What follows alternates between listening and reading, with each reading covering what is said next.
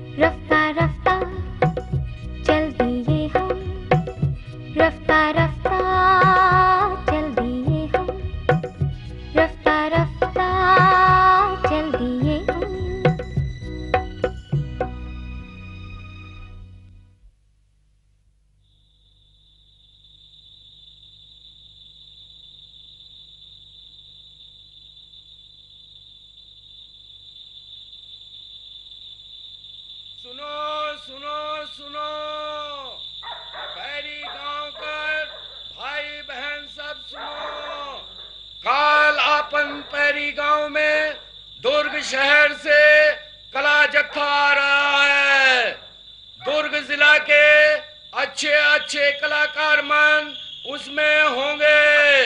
वे लोग नाटक, गीत, संगीत का आयोजन करेंगे। दुर्ग ज़िले में बहुत ज़बरदस्त भागीदारी आम जनता की रही है और विशेष रूप से हमारे जो गरीब वर्ग के साथी रहे हैं, मजदूर हैं, खेतों में काम करने वाले हमारे कृषक हैं, दर्जी हैं छोटे मोटे रोज़गार करने वाले लोग हैं और बहुत कम संख्या में शासकीय कर्मी भी अक्षर सैनिक के रूप में शामिल हुए, जिसमें कोटवार जैसे लोग भी शामिल हुए।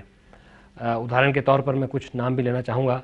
जैसे झाड़ू राम जी एक, जो कोटवार हैं, अपंग हैं। अपंग होने के बावजूद भी उन्होंने जिस प्रकार से एक गाँव में माहौल बनाया और अक्षर सैनिक के रूप में अपनी भूमिका अदा की, निश्चित रूप से हमें बहुत प्रेरणा देता है।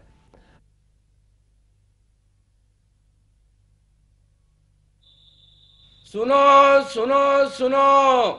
भाई बहन सुनो। बच्चा कच्चा सब सुनो। काल पंचायत भवन के सामने कार्यक्रम होगा। सुनो सुनो सुनो।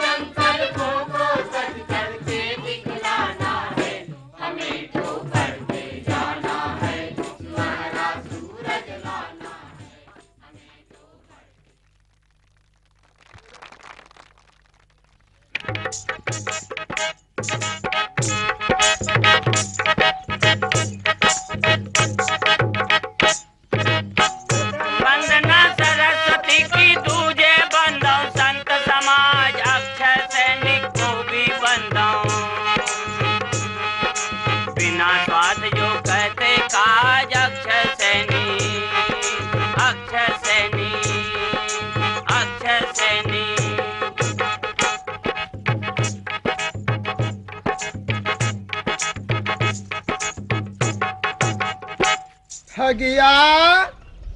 ए ठगिया। क्या है बाबा? आ गए बेटी। हाँ। आज राहत कार्य का आखिरी दिन है क्या बेटी? हाँ बाबा। पैसे के लिए तो जाओगी ना? हाँ जाऊँगी। जाओ बेटी जाओ। ठीक है। राम राम मेट बाबू। राम राम मेट बाबू। राम राम। राम राम राम राम। कैसे आई हो ठगिया? पैसे के लिए आई हूँ। पैसा? ठगिया ठगिया ठगिया बड़ी देर में मिलती हो ठगिया। तमीज से बात करो। अरे तुम्हारे नाम को कह रहा था ठगिया नाराज़ क्यों होती है री है? कितने दिन हो गया ठगिया? मेरे साथ मज़ाक मज़ाक मत किया करो समझे? अरे तुम्हारे लॉजिक के दिन को बोलता हूँ ठगिया अपने रजिस्टर को नहीं देख सकते क्या? अच्छा अच्छा एक दो तीन चार पाँच छः सात आठ नौ दस। एक दो तीन चार पाँच छः सात आठ नौ दस। हम्म। लो। बस इतना ही। तो और कितना दे हैं? हैं? कितने दिन रोजी माई हो? दस दिन। एक दिन का रोजी कितना है? बीस रुपए। दस गुणित बीस डेढ़ सौ हुआ ना? हाँ। हाँ चलो दस्तखत करो। मेट बाबू मेरे को दस्तखत वस्तखत करने नहीं आता। हाँ। अच्छा। है अच्छा। है हम यही चाहते थे। हाथ दो ना अंगूठे नहीं लगाओगी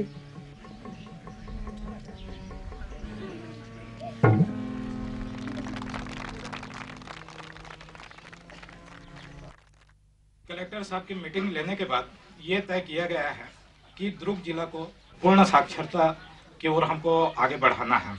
इस कारण से आप सबसे हम आशा रखते हैं कि बस्ती से अक्षर सैनिकों के लिए आप सब योगदान दें ताकि साक्षरता अभियान सुचारू रूप से चल सके और इस धार्मिक एवं पवित्र कार्य में हम सबकी सहयोग बनी रहे। आप सबसे योगदान चाहते हैं?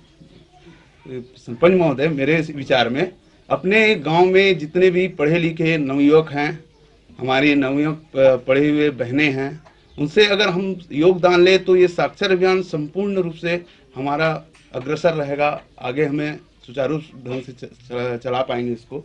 है ना? सरपंच जी, मैं भी साक्षर सैनिक बनूँगा। अरे झाड़ू राम जी, अरे आप कोटवारी करो इसी में बेहतरी है। का भर मैं क्यों नहीं बन सकता? चार क्लास पास हूँ। अरे भैया अपने हाथ पैर को देख ले उसके बाद तो बात कर। साक्षरता सैनिक बनना आपके बस की बात नहीं है।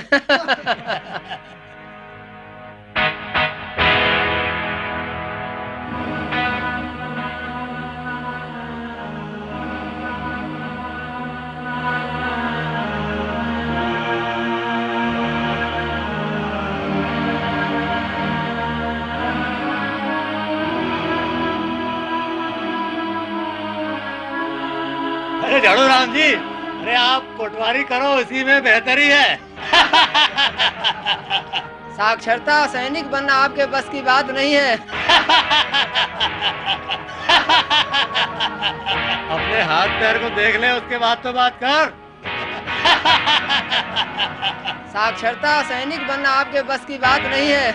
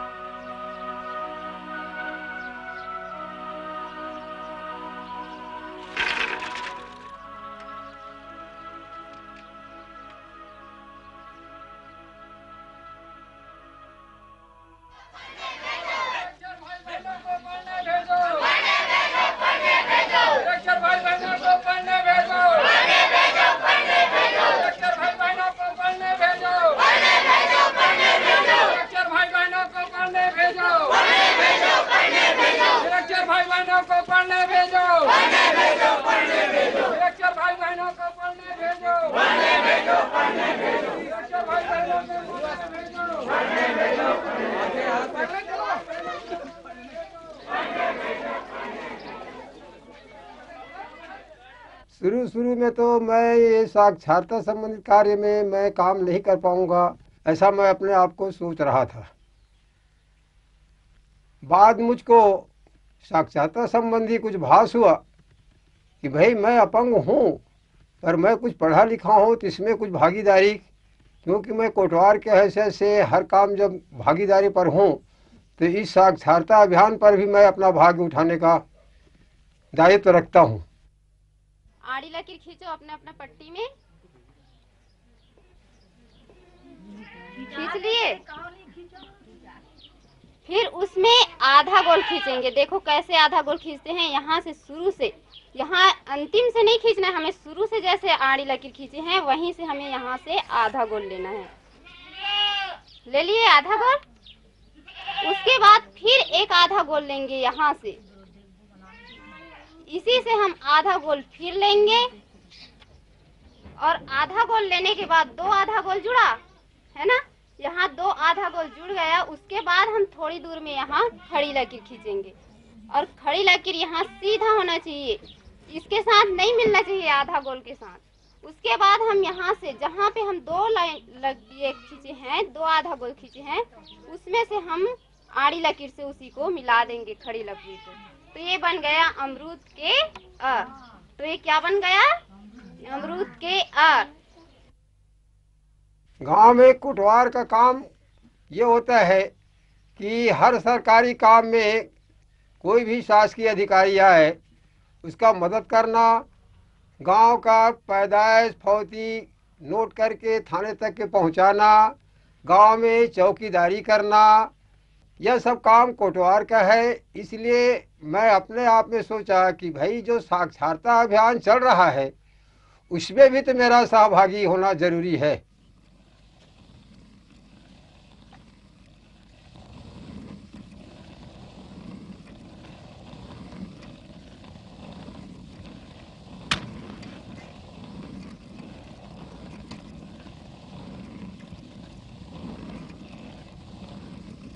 अरे झाड़ू राम जी। अरे आप कोटवारी करो इसी में बेहतरी है। साक्षरता सैनिक बनना आपके बस की बात नहीं है। अपने हाथ पैर को देख ले उसके बाद तो बात कर। कहा मैं कुछ नहीं कर सकता। कहा मैं नहीं नहीं मैं भी कुछ कर सकता हूँ। मैं करूँगा करके दिखाऊँगा। विकलांग हूँ तो क्या? मैं भी कुछ कर सकता हूँ। हाँ मैं भी साक्षरता अभियान में अक्षर सैनिक बन सकता हूँ। कोटवार हूँ। गाँव के लोगों को जगाना मेरी ड्यूटी है।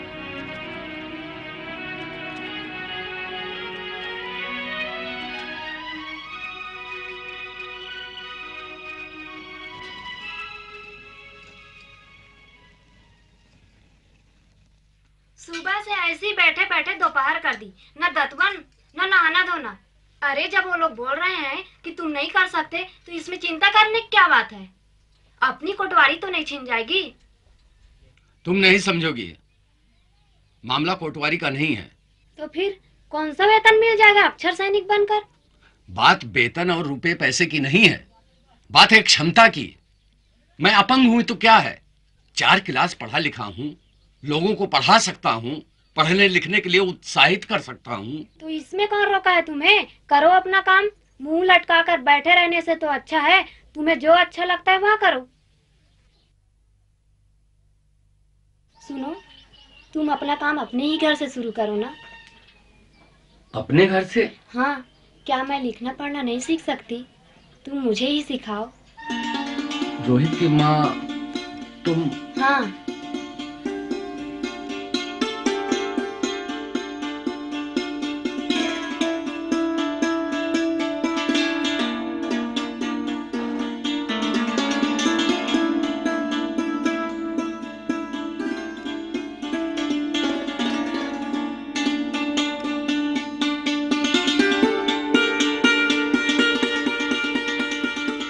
रोड में साइकिल छोड़कर वो उस घर तक पहुँचते थे जहाँ से नौ साक्षर को पढ़ने के लिए, कक्षा तक के लाने का बंदोबस्त वो स्वयं करते थे। जब तक के वहाँ से वो पढ़ने वाले नहीं निकलते थे, तब तक उनके घर से वो बाहर नहीं निकलता था। झाड़ूदास जी, इस प्रकार से हमको पूर्ण रूपेण सहयोग उनसे प्राप्त हुई लीला बहन अब चलो भी। बाकी की औरतें कब की ज्ञान घर पहुँच चुकी हैं? मुझे रघु के घर भी जाना है। उसकी औरत एक बार आई थी दोबारा नहीं आई पता नहीं क्या हुआ।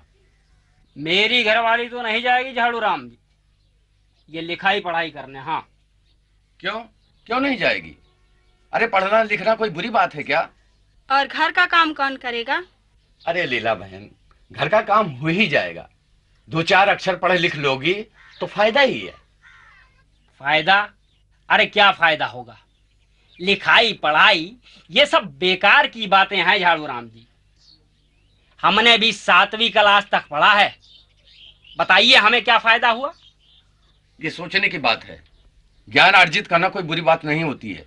अरे लीला बहन, तुम ज्ञान घर चलोगी वहाँ दो चार औरतों से मिलो जुलोगी, अपने आप समझ जाओगी। अब मुझे देख लो, मैं चार क्लास ना पास होता तो अपंग होने के बाद मुझे कोटवारी की नौकरी मिलती। अरे थोड़ा पढ़ लिख जाओगी तो भविष्य में बच्चों के बारे में सोचोगी। उनको शुरू में पढ़ा सकती हो। ना भैया ना। मैं ना जाऊँगी पढ़ने लिखने के लिए। और इस उम्र में मुझे तो लज्जा आती है। देखो तुम नहीं जाओगी तो मैं यहाँ से बिल्कुल नहीं हटूँगा। मैंने भी प्रण कर लिया है। पैरी गाँव में मैं किसी को अनपढ़ नहीं रहने दूँगा। जब तक तुम चलोगी नहीं मैं यहाँ से कतई नहीं हटूँगा। ओहो झाड़ू राम। आप जब भी आते हैं जिद पकड़कर सिर पर बैठ जाते हैं। चलो अब तो चलना ही पड़ेगा। चलो। चलो। चलो चलो। खरगोश के खा। घड़ी के घर वज़न के वा अंगा अंगा। दुर्ग ज़िले के अंतर्गत विकास खंड गुंडरदेही में साक्षरता अभियान के तहत महिलाओं में विशेष रूप से जागरूकता आई है। जैसे पैरी में पैरी गाँव पूर्ण साक्षर हो चुका है। यहाँ महिलाओं की बचत समूह बनी है। महिलाएँ बचत राशि से कुछ व्यवसाय करना चाहती हैं।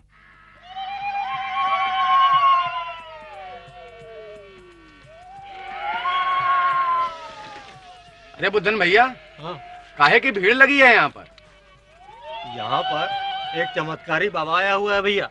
और बहुत तरह तरह के चमत्कार दिखा रहा है। चमत्कार? ओ। भैया। अरे वो तो जीव में त्रिशूल पार कर देता है। क्या बात कर रहे हैं? बोल सच बता रहा हूँ। और यही नहीं वो हवा में आग पैदा करता है। हवा में आग। हाँ जी।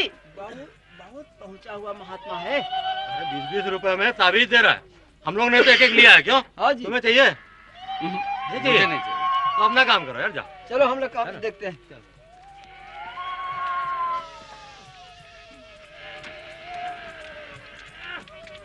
देहात में अंधविश्वास के कारण ये जो ठगी लोग आते हैं, साधु बाबा जादू, मंत्र, ये लोग हमारे देहात के निरक्षर जो पढ़े लिखे नहीं हैं, उनको ठग करके ले जाते हैं।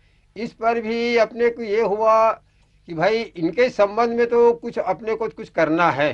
तो हमने अपने दुर्ग जिला में साक्षर समिति से जाके संपर्क किया उन्होंने। उन्होंने यहाँ पर अपनी टीम भेजी और उन्होंने अंधविश्वास के के रूप में, के ऊपर उन्होंने आकर अपना कार्यक्रम दिया। उससे लोगों को अंधविश्वास के प्रति थोड़े से विश्वास यानी घटी।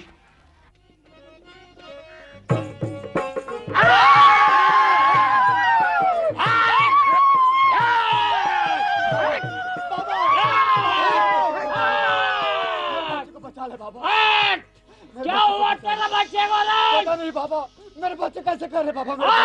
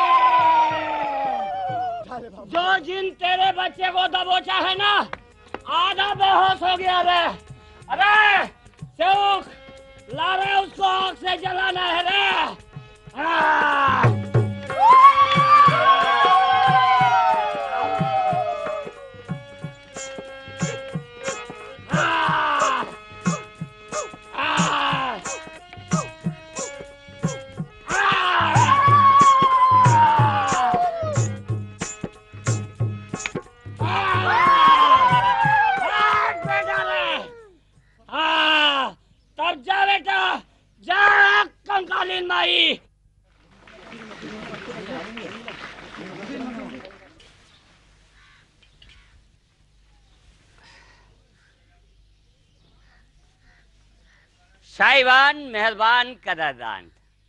अभी आप लोग मुझे एक जादूगर के भेष में देख रहे थे, लेकिन मैं जादूगर नहीं हूँ।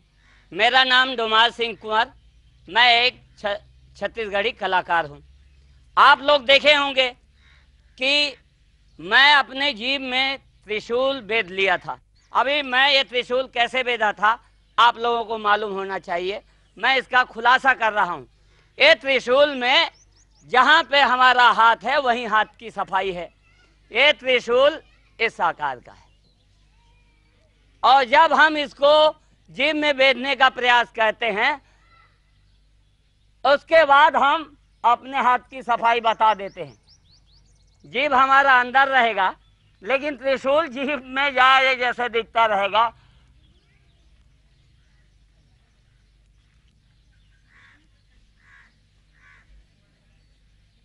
इस अंधविश्वासों की लड़ाई तो बहुत लंबी लड़ाई है ये।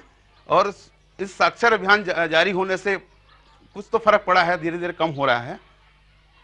और आगे इस प्रकार से लोग साक्षर होंगे तो अंधविश्वास धीरे धीरे जड़ से ही खत्म होगा। साक्षरता अभियान का सफल होना पैरी में। झाड़ू दास जैसे लोग जिनका पैर नहीं है, उन्होंने इस कार्यक्रम में भाग लेकर लोगों की दृष्टि को अपने ओर आकर्षित किया कि कि मैं एक अपंग होकर इस कार्यक्रम में भाग ले रहा हूँ। क्यों आप ना, आप लोग नहीं आए सामने? इस गाँव की करीब 20-25 नौ साक्षर महिलाएँ कक्षा तीसरी की परीक्षा देने के लिए पूर्ण तैयारी की है, जिनमें से झाड़ू दास की पत्नी भी है। रोहित के बाबू अपंग हुए, होने पर मैं कोतवाली उठा। कोतवाली करते करत ओकर बाबू पढ़े मोला तीसरी क्लास साक्षरता में तीसरी के परीक्षा लेवा हूँ कहा साल। महिलाएँ बचत राशि से कुछ व्यवसाय करना चाहती हैं, जैसे विकासखंड गुंडरदेही के अन्य ग्रामों में बचत समूह का गठन हुआ है। वहाँ महिलाएँ कहीं ईट भट्टे का काम कर रही हैं, कहीं मछली पालन का काम कर रही हैं कहीं बकरी पालन का कहीं बड़ी पापड़ बना रही हैं तो कहीं खेती का काम कर रही हैं कहीं वॉशिंग पाउडर बना रही हैं तो उसी तरह का काम पैरी की महिलाएँ भी करना चाह रही हैं। अरे तुम कब आ गए? और इन बच्चों का क्या हुआ? इन्हें नए कपड़े चाहिए। घर में त्योहार मनाने के लिए अनाज तो है नहीं। कपड़े कहाँ से आएँगे? सुबह गुंडरदेही गया था महाजन के पास। सोचा था दो सौ रुपए मिल जाते तो बच्चों के लिए दिवाली का कपड़ा आ जाता।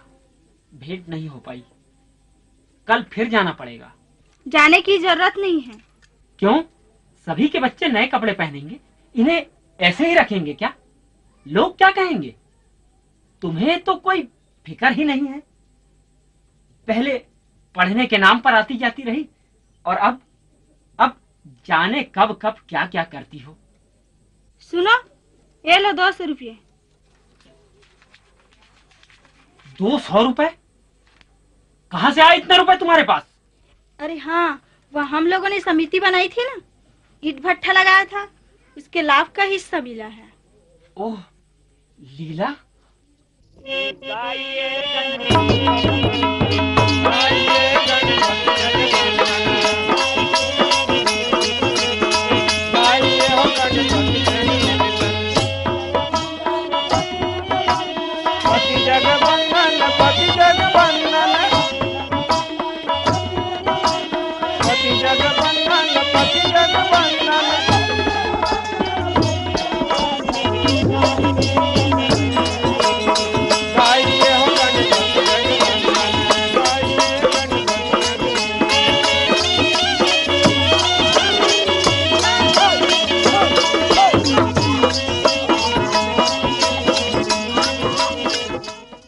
हमने गाँव में जो निरक्षर थे उन लोगों को साक्षर बना करके निरक्षर का सफ़ाई किया। अब हमारे गाँव पूर्ण रूप से साक्षर हो चुके हैं। जो कदम तुमने चले हैं, जो राह तुमने दिखाए, खुलने लगी है, आज फिर बंद गली की खिड़कियाँ। बंद गली की खिड़कियाँ।